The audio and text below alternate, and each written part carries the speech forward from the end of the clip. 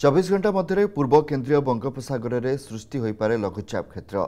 এর প্রভাবে আজিঠু রাজ্যের পুঁ বড় বর্ষার পরিমাণ আজ পশ্চিম ওড়শার নটি জেলাকে ছাড়ি বাকি সবু জেলার বজ্রপাত সহিত বর্ষা নিয়ে ইয়েলো আলর্ট জারি করেছে আঞ্চলিক পাপাগ বিজ্ঞান কেন্দ্র তিরিশ তারিখর প্রবলর অতি প্রবল বর্ষা নিয়ে আকলন করা তিন তারিখ যায় রাজ্যের প্রবল বর্ষা হব বর্ষা সময় বজ্রপাত হবার সম্ভাবনা থাকার লোক সতর্ক রহবা পরামর্শ দিয়া যাই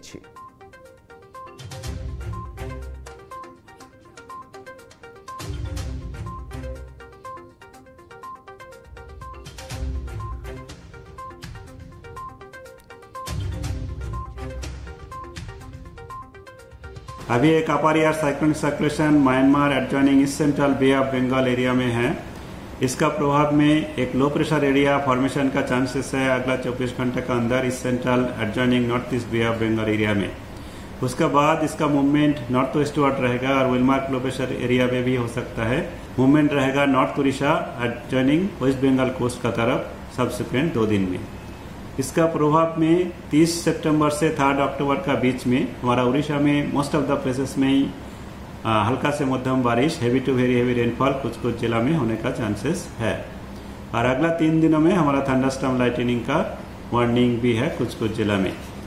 नॉर्थ कोस्टल उड़ीसा का डिस्ट्रिक्ट्स में मेनी प्लेसेस में केउंझर मयूरभंज धनकरण में भी मेनी प्लेसेस में, और बाकी डिस्ट्रिक्ट्स में कुछ कुछ स्थानों पर हल्का से मध्यम बारिश रहेगा। Thunderstorm lightning coastal Orissa interior का केउंझर मयूरभंज अंगुल धनकनाल सुंदरगढ़ कंधामल रायगढ़ कोरापुट नवरंगपुर, मलकानगिरी में वार्निंग है।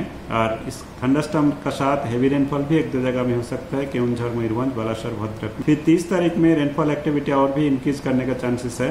इसमें उड़ी नॉर्थ उड़ीसा में मोस्ट ऑफ़ द प्लेसेस में साउथ उड़ीसा में मेनी प्लेसेस में, एक दो में मोस्ट ऑफ़ द प्लेसेस में हमारा बारिश रहने का चांसेस है उड़ीसा में। और तीस तारीख में हैवी रेनफॉल कुछ डिस्ट्रिक्ट्स में, एक दो में heavy to very heavy rainfall कुछ कुछ जिलों में होने का चांसेस है। तीस, एक, दो इसमें, ये तीन दिनों में भुवनेश्वर सिटी में भी कुछ स्पेल्स में एक दो स्पेल्स करके हल्का से मध्यम बारिश, एक दो इंटेंस स्पेल भी हो सकता है। जदि आपंक आम भिडी भल लगा तेब आम चैनल को लाइक शेयर और सब्सक्राइब करने को जमा भी भूलु नहीं।